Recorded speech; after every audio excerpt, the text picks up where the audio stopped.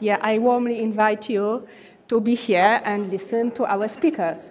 So I would like to invite Dan Hamilton to the stage, and we need his slides on the screen.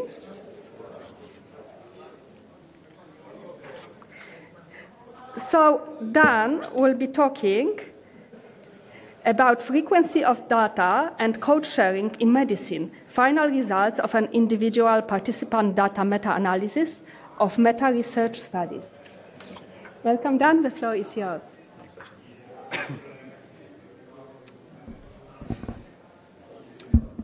Okay, hopefully everyone can hear me okay. To apologise in advance, I've lost my voice um, since coming over to Australia, so, uh, from Australia, so you have to bear with me a little bit.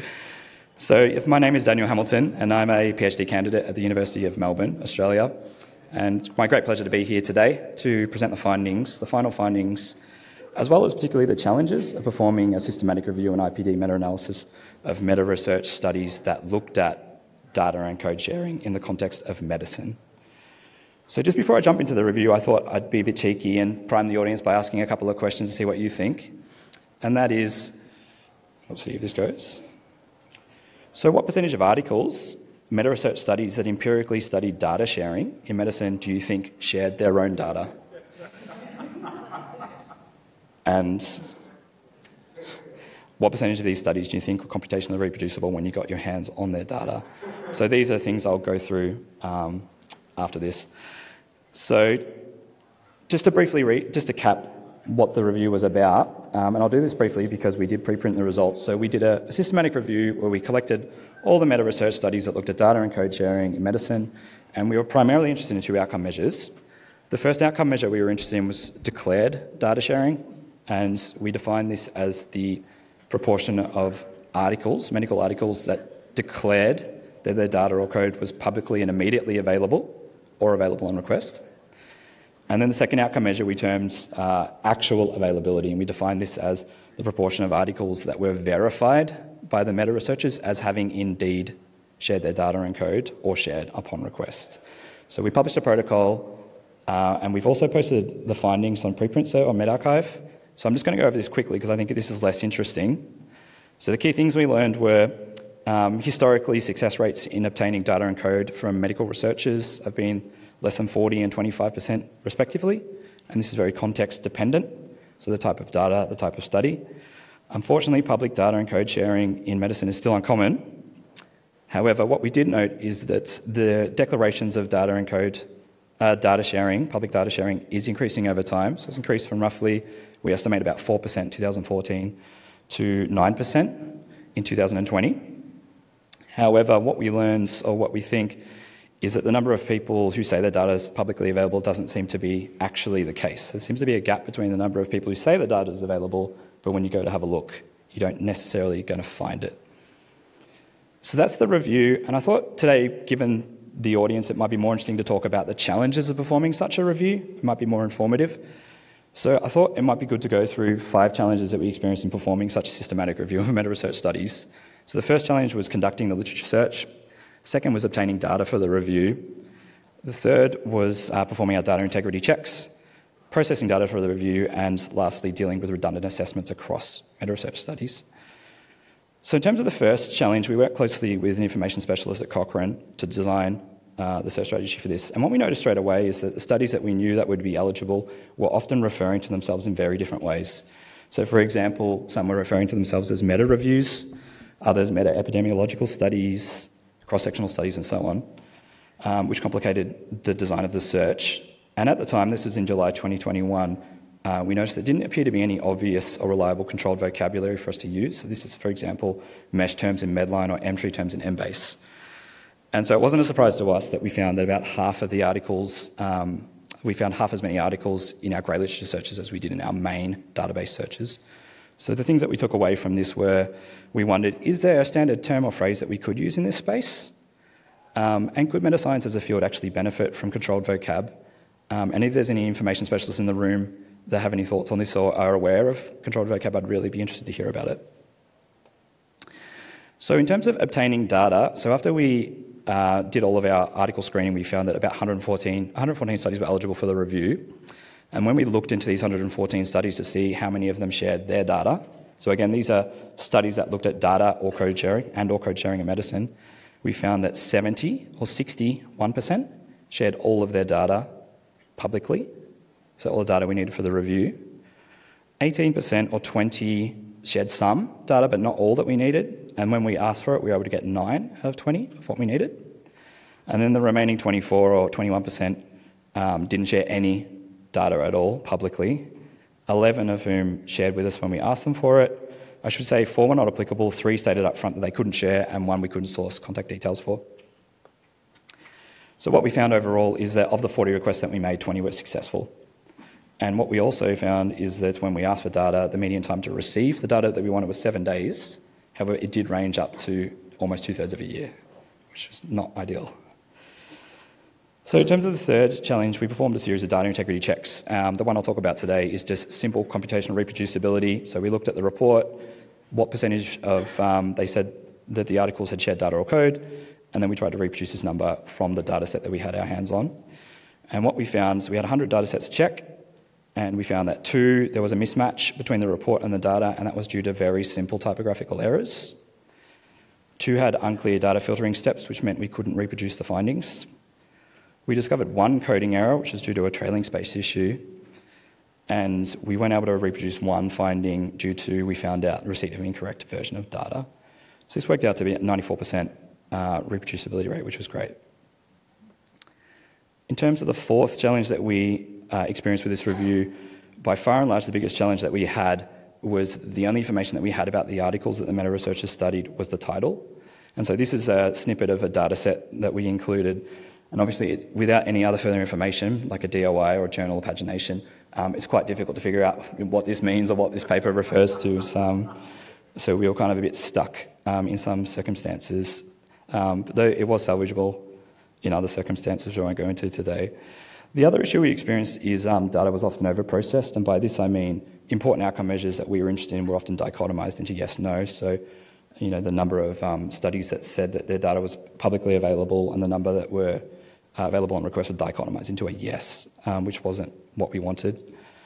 And to a much lesser extent, some other issues we dealt, dealt with was um, data being divided across several spreadsheets, in one instance up to 20, um, data being corrupted or stored in proprietary formats, and some instances of data being um, color coded, which was a lot of fun to figure out how to deal with that. Um, so, overall, some lessons that we learnt were um, if you're studying uh, published research, if that's your research subject of interest, ideally you want to, it would be good to include a permanent unique identifier or at least a unique identifier, so a DOI or an ID from some of these databases that use into search for these articles like PubMed IDs or Scopus IDs.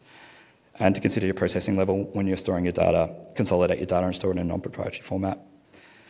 And so the last challenge I'll talk about today, which is probably the most interesting to me and the biggest surprise, is that we noticed that of the 114 studies that we collected uh, that were eligible for the review, Many of them sampled the same articles, and some of them overlap by 100%. So some studies looked at the exact same sample of articles. So, just as an example, there was a preprint by Sumner et al. that looked at COVID studies, and 100% of their studies were subsequently looked at by Stritch, and then both of their studies were looked at by McGuinness and Sheppard, and then all of their studies were looked at by Collins, and then the text miners came in and looked at everybody's studies. So then it raised a really important question to us, which was if five meta research studies are looking at the same article, whose assessment do we use or who do we trust? Um, and something we had to think about. It also raised some interesting thoughts about this is another, yet another important reason why meta researchers should ideally share their data. Um, it's also an important factor, I think, to consider when performing reviews of meta research studies as well. So, just to round it all up um, and just conclude, just some concluding thoughts on this front. So, obviously, performing a systematic review on IPD meta-analysis in this space, it was disappointing to see that um, many of these studies did not share their data. I didn't speak about in this talk because I didn't have time, but many of the studies that did share their data publicly were also not FAIR compliant, or at least compliant with basic FAIR principles. So, it'd be good to see us lead um, in this space or set a good example for other fields. However, in contrast, it was really encouraging to see that a minority of studies were irreproducible and I can say that the interactions that I had with the meta researchers on this front was fantastic, barring a few edge cases. Um, people were really good to work with, really humble. Um, it was really great. And then the last two things that thinking about is just more generally when planning um, and reporting and archiving your research products to consider about some secondary users using those products as well.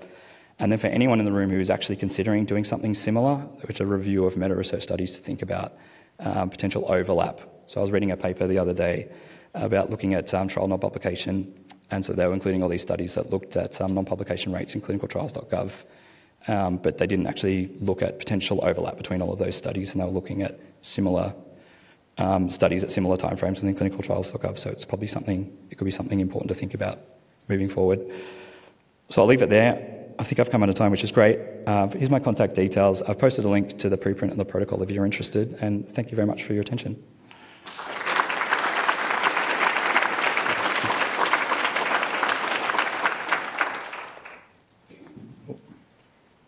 We have four minutes left for Q&A, so please use the microphones that are on both sides of the hall and ask your questions. Uh, hi, Mitchell Tillman from Stevens Institute of Technology. Uh, what do you think, a great talk by the way, uh, what do you think are the biggest obstacles to data and code sharing? The, the very low rates were quite surprising. What do you think is the reason for that? Um, is that specifically in a meta research context or a medical context? Uh, just, so I'm in the life sciences, so I guess in the, in the life sciences context. Okay. Well, in terms of the meta research context, I honestly believe people maybe just didn't think about it. Um, and I'm guilty of this too. Uh, so a lot of the people, when you contact them to ask them, they oh, sorry, I didn't even think about it, was a lot of the time is the kind of response that we get. In terms of at the next level down, in terms of, of um, at a medical level, obviously there's heaps, has been super well studied about um, sort of barriers to sharing, and in the context of medicine, part of that is navigating uh, confidentiality when you're working with human participants, um, you know, lack of incentives to share, and considerable fears around um, people, basically loss of academic productivity, like it's going to affect your publications and your grants and things like that are some of the common ones that get thrown out there. Um, but that tends to be the reason. In terms of the meta research, honestly, I think it was people just didn't think about it, or maybe they didn't think it was useful to others. Um, so yeah, it was a bit of a, a, strange irony, but I don't think it was intentionally withheld. Um, I think the issue with not being able to source data from the people who didn't share, a lot of the time it was because I didn't get a response or um, you know, yeah, most of the time it was just I didn't get a response. It wasn't um, people intentionally trying to withhold, I think, for the most part. Thank you. Hi, and uh, I'm John King from the National Institute on Aging, NIH. I have a really long title, I'll admit. Uh, really interesting stuff. But One thing I wanted to point out that I'm hope well, NIH, I guess, is hoping that our recent introduction of new data, data management and sharing plans in the grants themselves will at least place some of the what you point out is the thing you, I think you nailed it. People didn't even realize, of course, despite the fact that they're in the field, that somebody else would look at that data set. Um, and what we found preliminarily, looking back at whether people whether people's data management plans would have been appropriate given our new rules, is almost none of them were. And some of them included some very simple oversights, like you're generating some vast amount of data. Do you know how much vast data that is and where you're going to put it? And this is at the outset. They know they're going to collect the vast amount of data, and they didn't even put that down. You know, and so this is sort of the kind of I mean, it's sort of surprising that if you don't, unless you're forced to check the box, some cases you don't even remember that there's a box there. Uh, but anyway, if people have interest in uh, NIH data management, sharing any of that kind of stuff, and you, I've got nothing else better to do, you know where I am. Um, but thanks so much. No, it was interesting. I was reading the NIH policy, and um, obviously a lot of funders now require data management plans, but less funders will check compliance with it. I did notice, I'm pretty sure on the NIH update that they say they are going to, and there is risk that if you don't comply with the data management plan, that you may have your funding pulled or it may affect future grants. Well, and it's the same with Horizon Europe. It says they do that too. We'll need to have a data management sharing plan that we approve at the outset, and then it's going to be a checklist item on each annual renewal. So yeah, I, I, it, it's going to be a bloodbath the first two years, so then we hope that it will resolve into simply something better. Yeah. Thank you very much for excellent questions. I, I, encourage you to continue during lunch break, and we need to move on with our next speaker, uh, which is Kevin Esterling.